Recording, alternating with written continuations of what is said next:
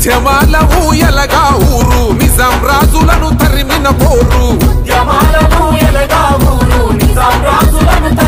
పోరు. పాంచంతురని కాళ్ళు మొక్కుతన బానిసత్వముకు చరమ గీతమై పెట్టి చాకిరి విముక్తి కోసం మట్టి మనుషులు చేసిన యుద్ధం! ఆ వీరుల గన్నమ్మ ఇది వీర తెలంగాణ. సాయుధ పోరుకు చిరునామా. సమరాల తెలంగాణ. వీరుల గంగమ్మ ఇది వీర తెలంగాణ. సాయుధ పోరుకు చిరునామా సమరాల తెలంగాణ. పోరుల పొద్దై పొడిసింది ఇది పోరు తెలంగాణ.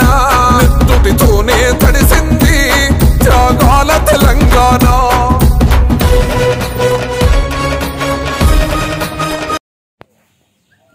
కోడియాత్రలో దళ సభ్యులు ఉదయం బాలమల్లేష్ గారు అలాగే విశాఖ మిషన్ రాష్ట్ర అధ్యక్షుడు మరి కాంతయ్య గారు గిరిజన నాయకులు.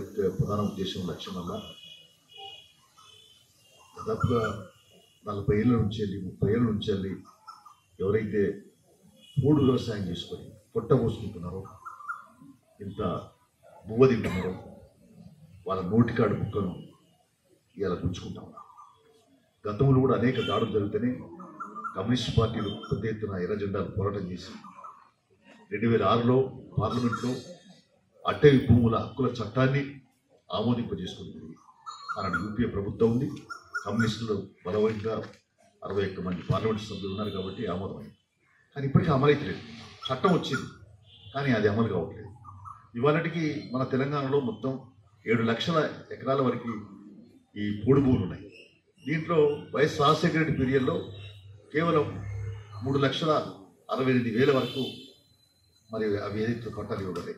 మిగతా మూడు లక్షల నలభై వేల వరకు ఇంకా ఇప్పటికీ పెండింగ్లో ఉంది కేసీఆర్ గారు ముఖ్యమంత్రి అయిన తర్వాత అనేక మంది ఆశపడ్డారు.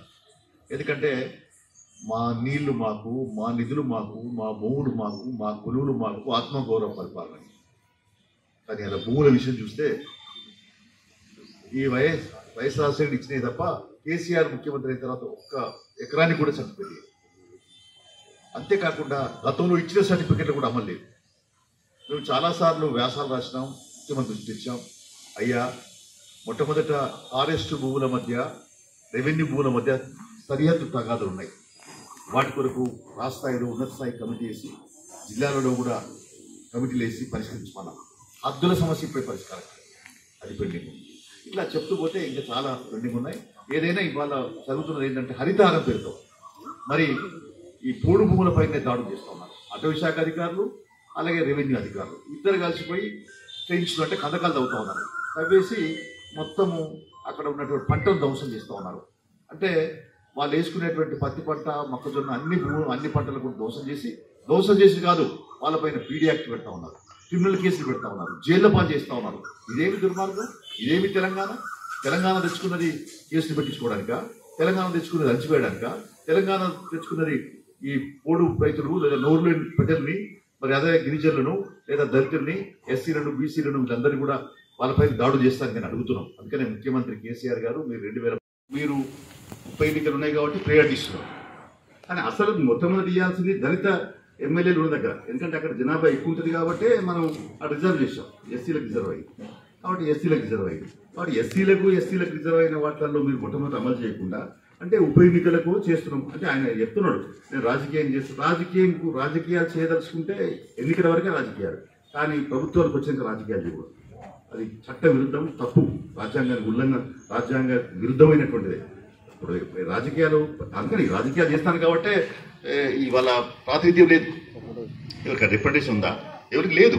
అందుకని ఇది దుర్మార్గమైన చర్య జరుగుతుంది. అందుకని మేము కోరేది ఏంటంటే ఇవాళ ఫస్ట్ ఎస్సీ నియోజకవర్గాలకి ఈ ఫస్ట్ ఈ దళిత బంధు పథకాన్ని అమలు చేయాలి తర్వాత ఒక్క హుజరాబాద్లో అన్ని అందరికి ఇస్తే మిగతా నియోజకవర్గాల్లో అందరికి ఇవ్వకపోతే మాత్రం పెద్ద యుద్ధం జరుగుతుంది. పెద్ద పోరాటం జరుగుతుంది. మిగతా దళిత వాళ్ళంతా కూడా ఊరుకోరని చెప్పి ప్రభుత్వాన్ని హెచ్చరిక చేస్తున్నాం. తర్వాత గిరిజన బంధు కూడా ఇవ్వాలని కూడా మేము డిమాండ్ చేస్తున్నాం. ఎందుకంటే దళితులకు ఇస్తున్నాం అది కూడా రిజర్వేషన్. ఎస్సీ ఎస్టీ కూడా ఇవ్వాలి కదా. అది మీరు ఎందుకు ఇయ్యారు మరి?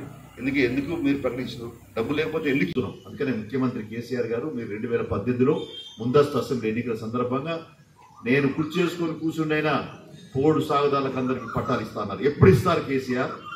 అని అడుగుతున్నాం. ఎప్పుడు కుర్చీ చేసుకుంటారని అడుగుతున్నాం.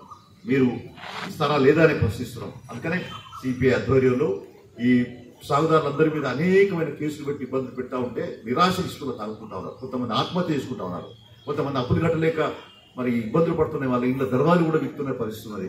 అయితే అటు భూమిలో కొన్ని పట్టాసోట్లు ఉన్నా ఈ కేసీఆర్ పాస్బుక్ ఉన్నా భూమిలో పోతుంది సరసాపల్లి సరసాల సరసాల అనేది కోమరభీం జిల్లాలో ఉన్నది ఒకటి అదే కొండపల్లి అనేది ఒకటి ఉన్నది. అక్కడ మేము నిన్న పోయొచ్చాం ఎంత దుర్మార్గం అంటే నేనైతే చెల్లించిపోయాను. ఒక్కసారి ఒక రెండు నిమిషాలు స్పందించు ఏం ఏం స్పందించాలో అర్థం కాలే. అంతటి అరే ఇట్లా ఇంత ఇంత అన్యాయం ఉంటుందా? ఇది ప్రజాస్వామ్యమా? లేకుంటే డెబ్బై నాలుగేళ్ళ స్వతంత్ర కాలంలో ఇట్లాంటి అనొచ్చు ఇట్లాంటి ఉంటాయని చెప్పి అనుకున్నాను. ఏదైనా కూడా కమ్యూనిస్ట్ పార్టీ ఇవాళ స్టడీ చేస్తుంది స్ట్రగుల్ చేస్తుంది.